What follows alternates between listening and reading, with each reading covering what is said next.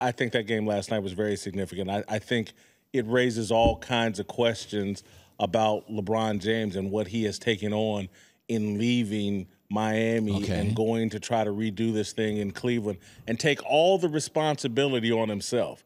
He wants to be the general manager. He orchestrated the Kevin Love and Andrew Wiggins not being there. Uh, he's wanted to be a global icon, an activist. He wants to make movies. This isn't me criticizing LeBron. This is just pointing out all that he's taken on.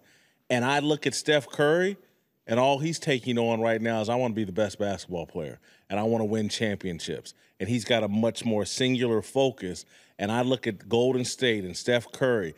Steph Curry, I think last night settled, you know, I am the best basketball player right now on the planet. So we can, we officially say that now? Oh, I, I think without question. And look, it could change. We got several months until we get to June and things could change. But right now, today, I don't think there's any question. Steph Curry is the best. And I think people are going to start, if LeBron James ends his career with just two championships or even just three, I think people are going to look back in retrospect and say, you know what, he tried to do too much. You know, I think three gets him off the hook.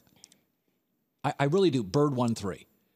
And and he will have played the second half of his career against the Warriors. I think it's a very interesting debate. You know, you just made me think of something. You've done you do this to me about every other time you're on. I'm like, I wish I was a columnist.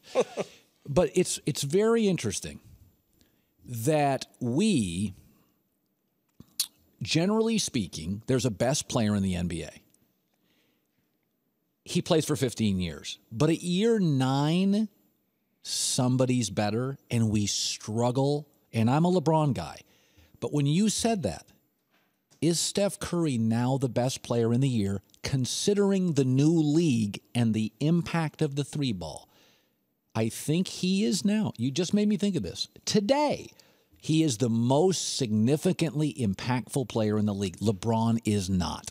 And keep in mind what LeBron's expectations were, what our expectations for LeBron were. He was going to challenge Michael Jordan as the greatest of all time. Yeah. If we go back and look at uh, Michael Jordan's year nine, there was no one at year nine.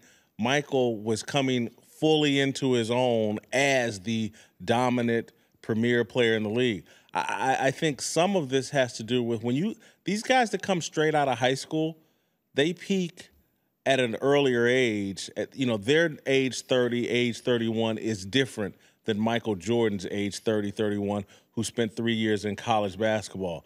So I, I think I look at LeBron. I think he's he's a bit worn out from playing too much, and from taking on too much responsibility, too much of a burden. I, I don't. I, I can guarantee you, Pat Riley sitting back smiling today, saying, "See, you didn't know how good you had it." When I was here to help carry some of that load, when Dwayne was here to help carry some of that load.